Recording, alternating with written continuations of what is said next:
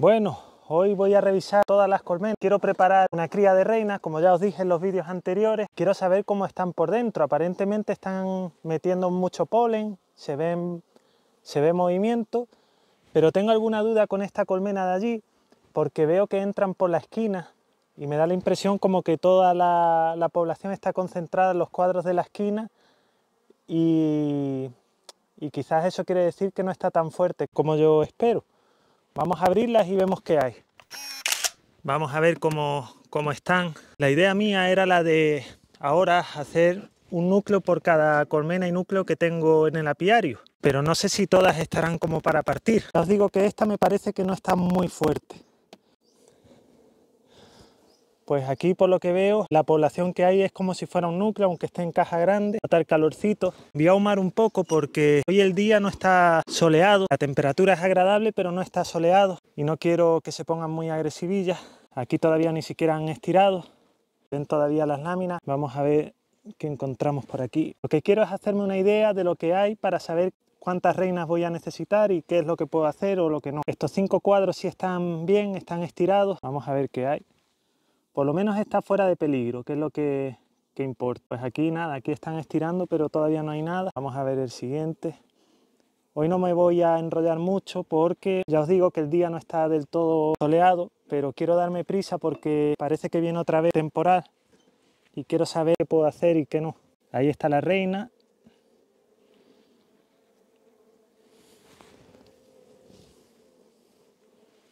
Este está muy bien de cría, vamos a ver el siguiente y cierro ya. Esta, por ejemplo, no, no estaría para partir ni mucho menos. Esta le queda todavía trabajo.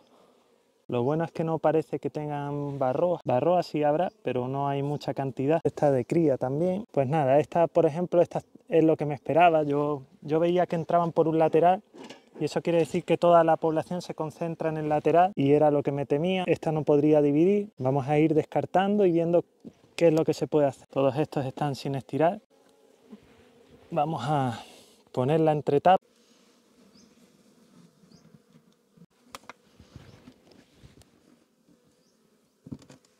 Vamos a revisar ahora esta fila de aquí. Le ponemos un poco de humo. Aquí me vais a tener que perdonar porque no voy a poder grabar que se vea bien el interior porque hay poco espacio, mucho desnivel, no tengo dónde poner el trípode. Vamos a hacer lo que se pueda. La tapa está llena de abejas. Nada, están a, a cinco cuadros. Vamos a abrir por este lado de aquí, que es el que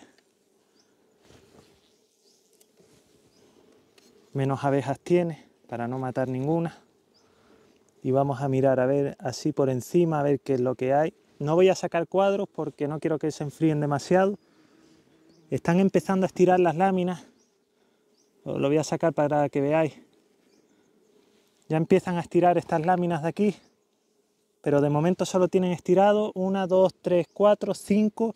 Ahora es impresionante la anchura que tienen de, de cera. Nada, esta no la vamos a molestar más. Está a cinco cuadros también. Quizás yo me estoy precipitando un poco y no voy a poder hacer la exageración que tenía prevista, que yo me vine arriba muy pronto. Pensaba hacer 20 núcleos y creo que no. Vamos a ver la siguiente.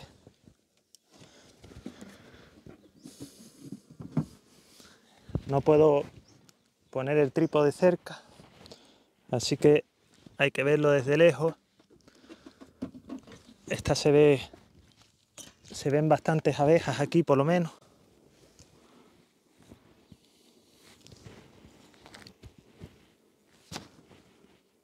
Este tiene seis cuadros estirados.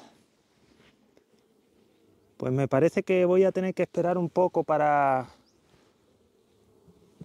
para dividir. No me gustaría ahora debilitarla sin necesidad.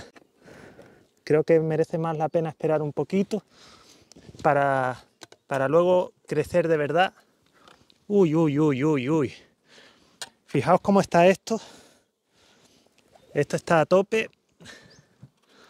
Los núcleos sí que están a tope, voy a acercar un momento esta a ver si puedo. Se han ido ya para abajo y fijaos cómo está esto. Todos los cuadros estirados y completos de abejas. Este está perfecto. Está para pasar ya. A este le, le voy a poner una marca, una piedrita y lo pasaré a colmena. Porque si no, los núcleos sí están muy fuertes. Se nota el aislamiento, que tienen más calor y están a tope. Bueno, este está a cuatro cuadros. Este último aún no lo están, lo están empezando a estirar ahora.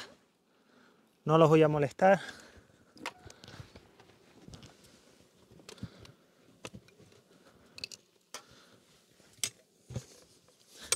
Vamos a ponerle una piedra a este para marcar. Me parece a mí que la cría de reina se va a retrasar un poco.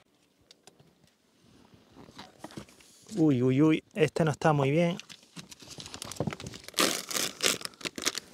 Aquí vamos a mirar porque este no me ha gustado, pero nada. Aquí pasa algo.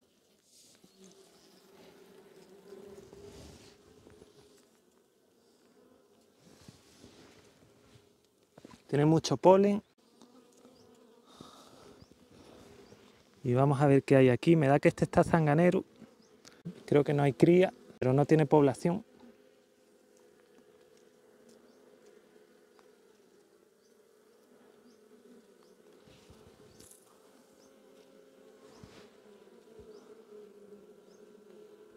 Pues aquí no hay reino.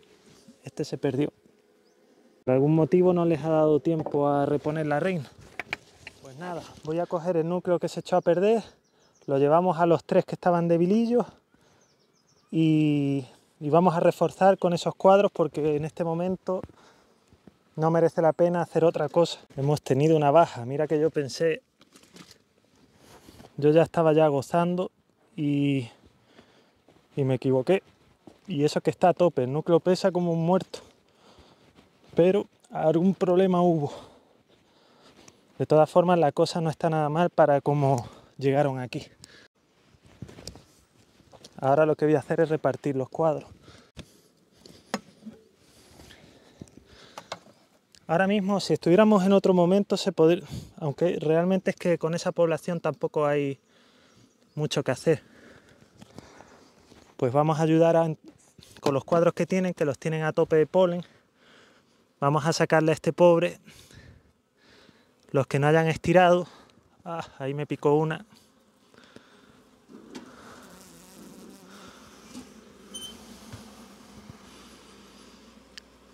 Este tiene todos los cuadros estirados, pero este lo tienen vacío, no tienen nada. Vamos a echar esto aquí. Y aquí le vamos a poner uno llenito de, de polen. Y ahora en vez de meter a, las abejas estas dentro, las voy a sacudir fuera para que haya el menos problema posible y que se metan donde quieran.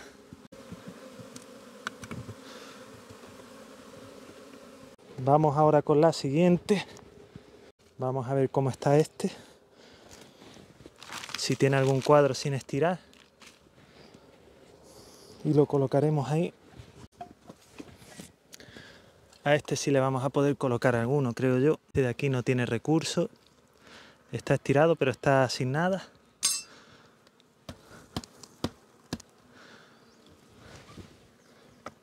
Este de aquí, vamos a ver qué tiene. Este no lo voy a tocar porque me parece que la reina está poniendo o va a empezar a poner ahí. De momento no tiene nada. Este se lo voy a dejar y le vamos a poner al lado uno de polen de los que están aquí cargados al lado de la cría que le va a venir genial. Este cuadro es de polen entero. Se lo coloco al lado de la cría. Tiene polen por los dos lados. La, la que todavía no es zanganera, la que perdió la reina, las estoy sacudiendo para que se metan y refuercen los núcleos. De esta manera suele haber menos problema que si los metes directamente. Me queda otro cuadro de recursos que lo meteré por otra. Tengo aquí formada una porque no hay espacio para nada. Tengo que poner todo ahí como puedo. Y ahora me organizaré. Fijaos lo que he hecho ha sido eh, sacudir las que quedaban en la colmena que perdió, en el núcleo que perdió la reina. Lo he sacudido todo por aquí y, ahora se van metiendo en las que ellas elijan. Ahí podemos ver un grupito que se va metiendo en ese.